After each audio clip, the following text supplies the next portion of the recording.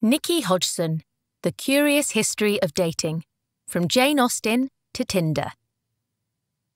Pairing up, whatever your sexuality, has always been an important facet of human existence. And the British are just as bad as it is everyone else, if not worse. In these blinks, you'll get an overview of how British attitudes toward dating have changed over the last 300 years.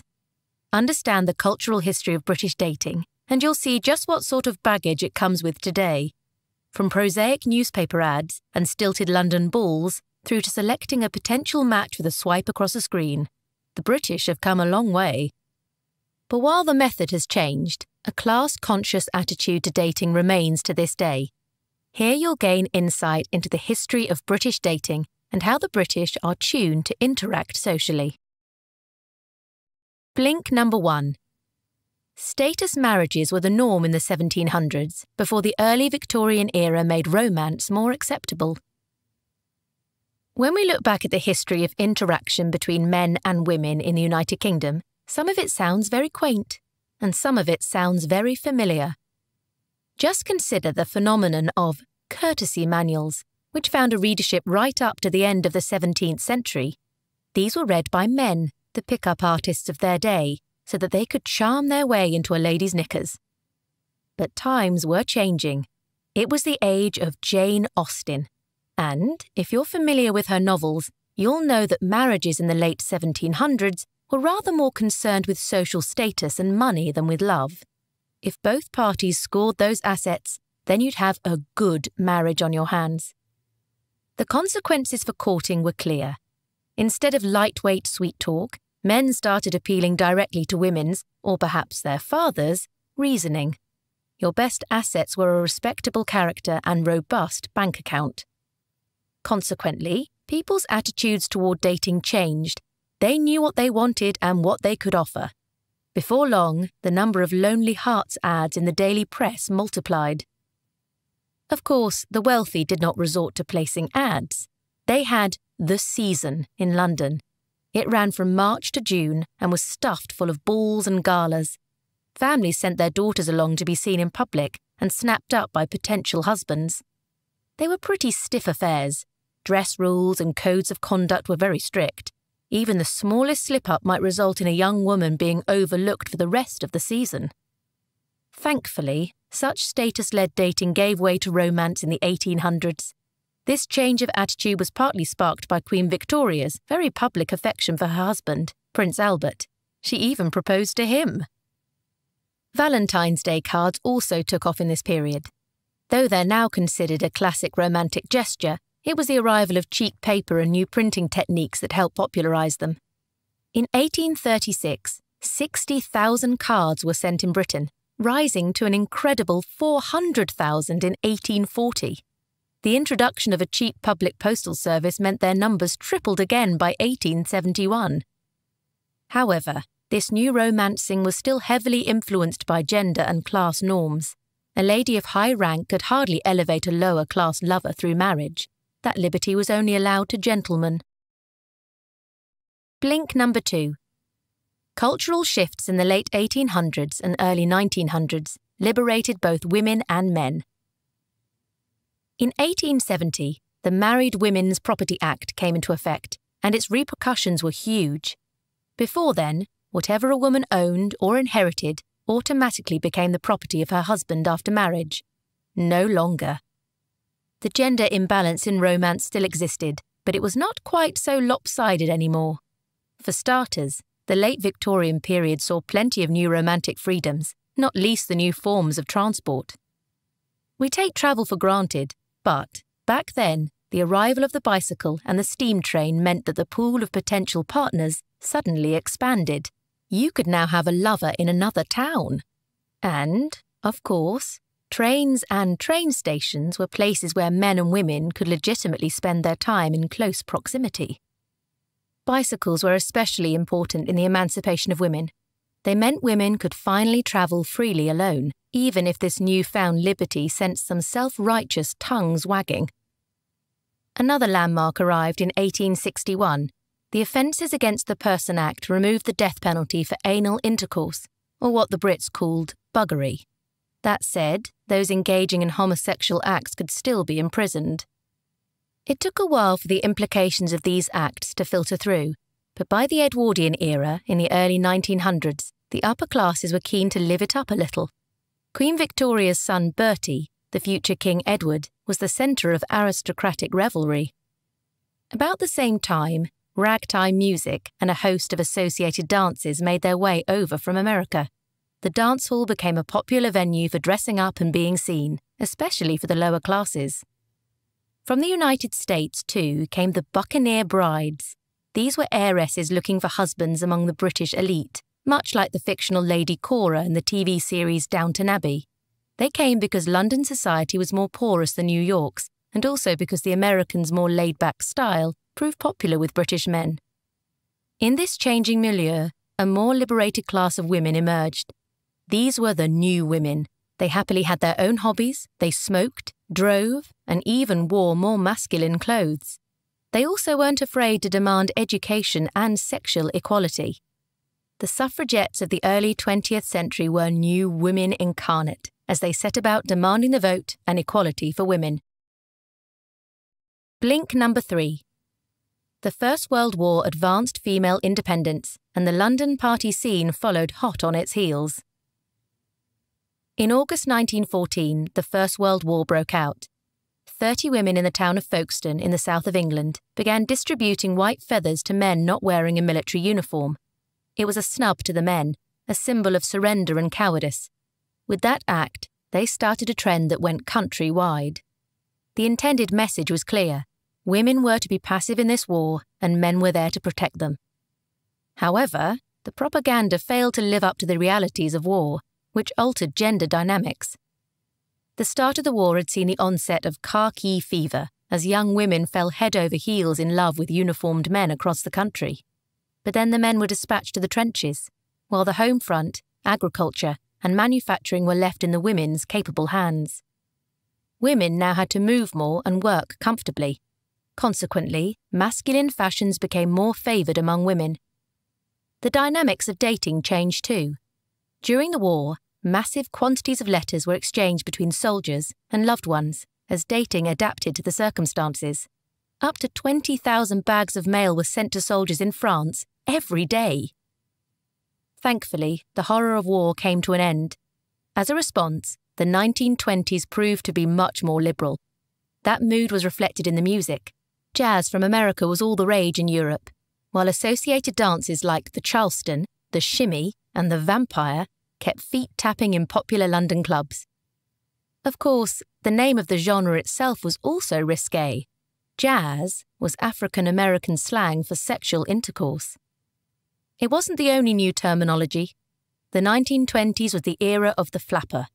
Once the term had simply meant prostitute, but now it was associated with girls wearing short skirts and short haircuts, living on a heady mix of cocktails and cocaine. But, of course, not everyone could revel in such luxuries.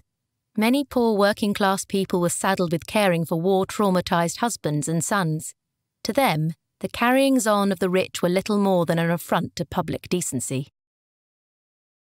Blink number four. The 1930s saw the cinema become a dating favourite, and women's independence increased further. Although marriage rates among women had dipped during wartime and the early 1920s, the 1930s saw them buoyant once more. The average age for tying the knot even fell to around 25 for women and 27 for men.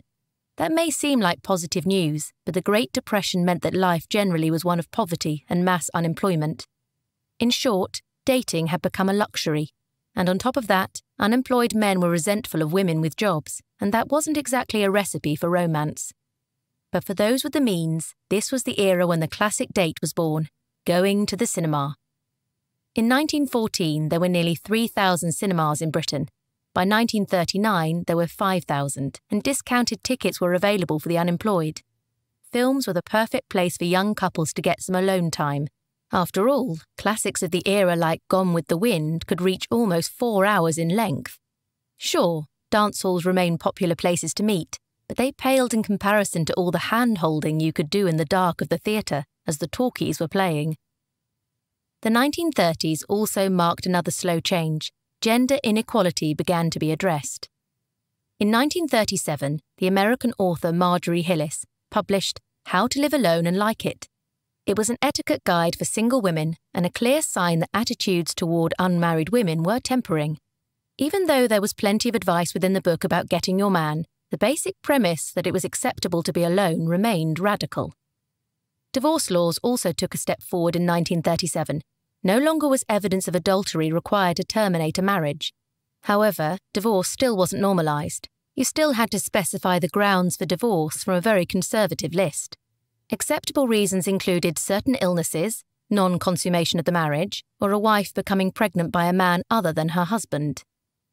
Access to information about sex and relationships for women in the lower classes also improved. Magazines such as Woman's Own and Woman's Illustrated published relatively graphic articles, although, as the era demanded, they restricted themselves to discussing married couples only. Blink number five. The Second World War led to a wedding boom, but the temptations of the home front proved the downfall of many. In 1939, war came to Europe once more. Its impact was immense, not least on the interaction between the sexes. Weekend affairs and casual flings became quite the thing, but then again, so did marriage. In 1938, 409,000 weddings took place in England and Wales, a number which rocketed to 494,000 in 1939 and 534,000 in 1940. The rush to marriage wasn't solely a British phenomenon. In the weeks after the Japanese attack on Pearl Harbor in 1941, roughly 100 Americans married every day, 30% of whom were under 21. Some new wives to servicemen were even nicknamed allotment Annies, since marriage meant they secured $20 a month from the government. There's also a story that some women actively sought out American airmen to marry because widows received $10,000 in compensation should their husbands die. And of course, the mortality rate for airmen was very high. Once partners were hitched and the husband at war, letters became their main form of communication, much as in the First World War. By 1944, over 3 million airmail letters, 4.5 million pieces of surface mail, and 500,000 airgraphs letters photographed in miniature and delivered via airmail, were posted every week to and from the United Kingdom. But there were plenty of temptations on the home front. Despite all those weddings, illegitimate births rose from 26,574 in 1940 to 64,743 in 1945. Most famously, in 1943, 1.5 million American GIs landed in Britain to prepare for the invasion of France, but soon found other ways to keep themselves busy. These easy-going, gum-chewing studs proved to be real catches for the British gals. They were well paid compared to the British soldiers, an annual £750 against the British Army's £100, and had plenty of cigarettes to dole out too. When the GIs left for France in 1944, an unbelievable one quarter of all US Army letters were sent to British addresses and 20,000 British women registered to marry their American fiancés. But not everything turned out rosy. The combination of rushed marriages and infidelities led to increased divorce rates in Britain. They rose from 7,995 in 1939 to over 60,000 in 1947. Blink number six. American culture affected how Britons met socially, and attitudes toward sex relaxed a little too. The war came to an end, but life remained tough. Rationing in the United Kingdom persisted deep into the 1950s, and income tax stood at double today's rates. As people sought to recover their lives, expensive dating was hardly a top priority. But the landscape of dating still evolved, most notably, once again, thanks to cultural imports from America. In the early 1950s, swing hits from the likes of Frank Sinatra and Ella Fitzgerald were the rage in dance halls. But quite suddenly, in November 1955, rock and roll landed with Bill Haley and his Comets toe tapping Rock Around the Clock smash. The new hits were energetic and got youngsters bopping en masse. And, as for the barely concealed sexual force of the lyrics, that really got the kids experimenting. It was the era of new sorts of celebrities, too. There was a sex symbol for every occasion. James Dean, Marilyn Monroe, Audrey Hepburn, and Cary Grant are famous to this day while newspapers were cashing in on celebrity gossip too. simultaneously, there was an increasing candidness surrounding sex. In 1955, Geoffrey Gorer published a survey which showed that 52% of the British population disapproved of young men having any sexual experience before marriage. The figure stood at 63% for women. The survey also demonstrated a strong class and age divide. Working class and young people were more forgiving of premarital sex. Interestingly, another study found one in four men admitted to having visited a prostitute, while one in five women confided they'd had an affair. The big change of the period for relationships came in the shape of sex education and contraception. Once reserved only for married couples, unmarried heterosexual couples now had access to them too, a sure sign that such relationships were becoming more acceptable. By 1955, Britain's newly formed National Health Service, the NHS, was providing diaphragms and condoms in clinics across the country. But these changes were just the start. American teenagers were discovering that dating could be fun for its own sake. That new sense of liberty was about to cross the pond. Blink number seven. The 1960s saw a huge cultural shift and increased sexual freedom, but these changes weren't universal. The year 1967 marked a watershed in many ways, not least because the Sexual Offences Act was passed. This decriminalised homosexual acts in private between consenting adults in England and Wales.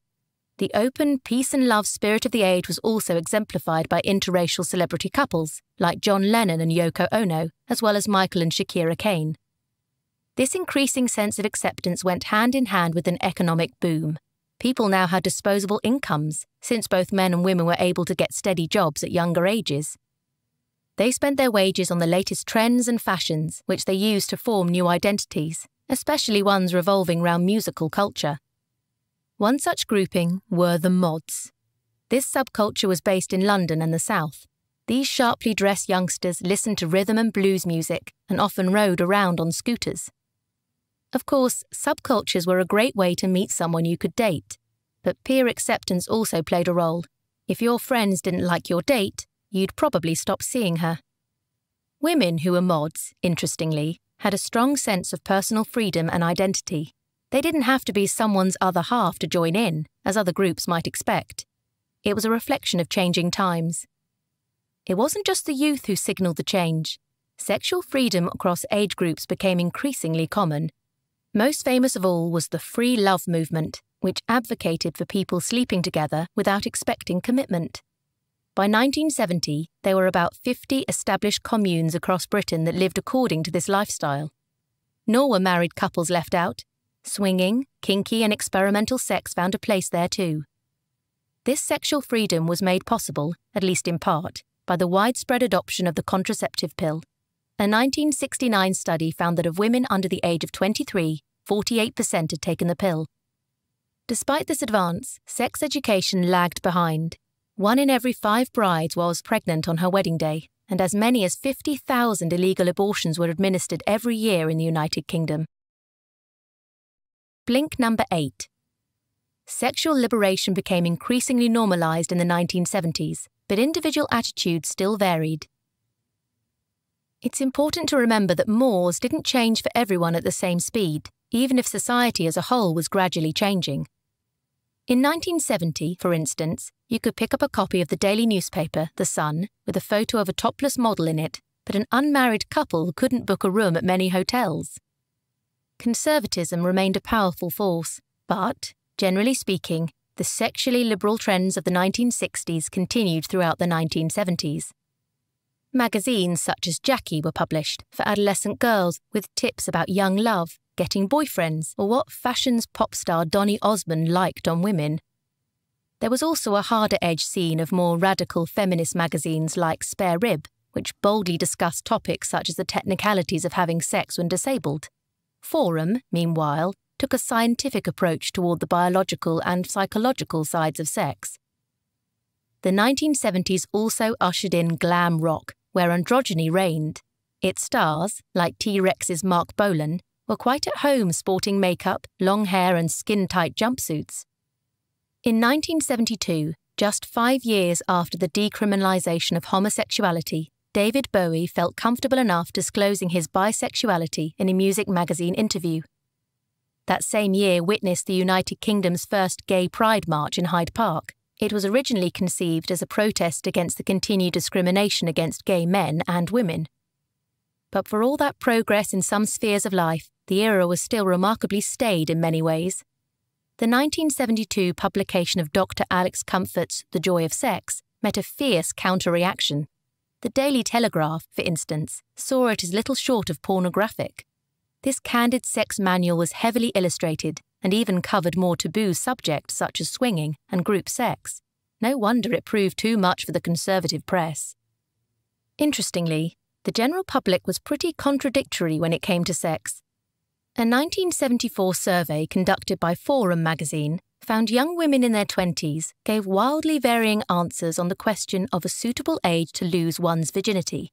And even then, three out of four women who got married between 1971 and 1975 admitted to having slept with their husbands before their marriages. Blink number 9. The 1980s established that dating could be fun, but the AIDS epidemic cast a dark shadow. By the 1980s, dating was seen as something cheeky and fun by the British. Nothing exemplified that more than the wildly popular TV show Blind Date which was first broadcast in 1985. Three contestants were lined up behind a screen and answered questions posed by their potential date partner. She would then make her pick based on their answers. The style of the show fitted with the cultural and economic zeitgeist of consumerism. This kind of fun came at a price. After all, 1981 had seen the launch of MTV, which pushed new materialistic ideals. Suddenly, sales of cosmetics and clothes skyrocketed, whether it was designer clothes, tanned skin, or bottles of Bollinger, flashing your cash became all the rage. The decade marked huge progress for women, too. They finally began to get more power, both in love and at work. Nothing represented this new type of woman more than the power dressing career woman. They weren't defined by their status as wives or mothers, but by their career successes. Attitudes toward homosexuality were also changing, a 1984 survey by Woman magazine found 10% of all women had had sex with another woman. Additionally, a majority thought it fine for boys and girls of the same age to start having sex. But not everything had changed. Three out of five 19 year old women believed a couple ought to be in love before having sex, and 85% of unmarried women still saw love as their ultimate aim the progress of sexual liberation in the 1980s was badly marred by the AIDS epidemic. In 1981, five young gay men died from a rare form of pneumonia in Los Angeles. Simultaneously, immune cell abnormalities were being found in the blood samples of gay men in London. The first UK AIDS related death occurred a year later. Incredibly, no internal AIDS unit was established by the Department of Health and Social Security to deal with the situation until 1985, and the government didn't even bother to issue a press statement on it until 1986. Such treatment was symptomatic of the general disdain in the press and among the public towards homosexuality and the AIDS epidemic. This was matched by increasing numbers of homophobic physical and verbal attacks. The repercussions were soon felt in attitudes toward casual sex, both homosexual and heterosexual, but the late 1980s, 62.5% of women were of the view that one night stands were plain wrong. Blink number 10. Third wave 1990s feminism changed women's self perception, while new forms of dating were rather impersonal. In 1991, the Daily Mail ran a report on a new phenomenon they called emancipatory impotence. Supposedly, improved healthcare provision had allowed older women's sexual libidos to flourish to such an extent that their husbands couldn't match them in bed. Clearly, even the conservative news outlets were aware that perceptions of women's sexuality were changing. Third wave feminism had arrived, and it was affecting the way women saw themselves. It could be seen in film and TV shows like Clueless and Sex and the City, where female leads expected the men in their lives to love, support, and respect them a whole generation of young women were taught to demand equality in romance and relationships. But all was not peaches and cream. Many women were rocked by a crisis of confidence. A 1991 poll for New Woman magazine found that 90% of all women thought of themselves as overweight, and 68% even felt that fat held them back. This dichotomy of female independence and self scrutiny is perhaps best expressed in Helen Fielding's fictional creation, Bridget Jones. The character first appeared in a newspaper column in 1995 before a 1996 novelization hit the big screen in 2001. Jones's resolute struggle with diet, career, and romance hit home hard. Many people could empathize with a 30 something woman who didn't have everything together. The 1990s were also remarkable for the changing way in which potential partners were finding ways to meet. When the Soviet Union collapsed in 1991, many women there wanted to get out fast. The mail order bride business took off as they realized their escape ticket was marriage to a Western man. Speed dating became a thing too. It was invented in 1998 by Los Angeles rabbi Yaacov Deyo. At first, he just wanted to make the matchmaking in the Jewish community more efficient. But, before long, his idea had gained traction the world over. The decade also signalled the effect the internet would later have on dating. AOL's Instant Messenger chat room went online in 1997, later followed by Yahoo Messenger in 1998 and MSN Messenger in the following year. The thrill of excitement of chatting online using a clunky modem was just the start. Blink number 11. The new millennium saw gains in the LGBTQI community, sexual liberation in print, and a migration to online dating. By the time the noughties rolled around, much had changed in the world of dating. For women, marriage and motherhood were no longer quite so central. More generally, people began to embrace their sexualities and preferences like never before. Over the previous two decades, LGBTQI communities, that's lesbian, gay, bisexual, transgender, queer, questioning, and intersex, had at last begun to gain equality within society. That's a fast improvement. As late as 1992, the World Health Organization still classed homosexuality as a mental illness. In 2000, the Labour Party lifted the ban on homosexuals from serving in the UK armed forces. In the same year, the age of consent for homosexual sex was dropped from 18 to 16 to match the age of consent for heterosexuals. Soon after, the passing of the Civil Partnership Act of 2004 meant same sex couples could enter a civil union under UK law. Then, in 2014, the Conservative Party bowed to pressure and legalised gay marriage. Elsewhere in the cultural landscape, the publishing phenomenon that was Fifty Shades of Grey fired the sexual fantasies of many a woman. The 2011 book featured explicit bondage and sadomasochistic sexual content. Two sequels followed, and the first volume was adapted for the screen in 2015. The book has now been translated into 52 languages and 125 million copies were sold by 2015. Its success sparked a trend felt the world over. Sales of erotic accessories boomed. Fetish nights at clubs drew in more clientele, and searches for submission on adult website Pornhub increased 55%. However, the biggest shift of all in dating was the move online. Over 50 million people now use the smartphone app Tinder, it was launched in 2012 with a single premise a potential matches photo pops up, and the user swipes either left or right to reject or accept. Now there are 850 million swipes every day worldwide. Whether users are looking for a fling or something deeper, apps like Tinder have made the world of dating a lot quicker. But does this abundance of possibilities undermine relationships? Actually, the online dating website eHarmony found that couples who'd met online were less likely to divorce or separate. It's a different world of dating to our starting point in these blinks, from the formal heterosexual marriage ads of the 1700s to today's playful online dating sphere, for all sexualities. It's been quite a journey. You've just listened to our blinks to The Curious History of Dating by Nichi Hodgson. The key message in these blinks is that from society balls through two world wars and the cultural revolutions of the 1960s, the impulse to meet and fall in love with others has remained essentially the same. But as societal pressure has loosened its grip, the methods for finding lovers has become much more individually driven. Today, in Britain, both women and men can celebrate a tremendous range of sexualities. They can finally date for whatever reason they choose. Well, before you leave, don't forget to subscribe to Books in Blinks and leave your thoughts in the comments section below.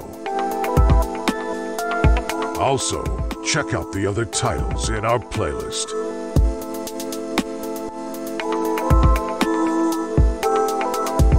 I'm Pedro from Books in Blinks, and I hope to see you here again.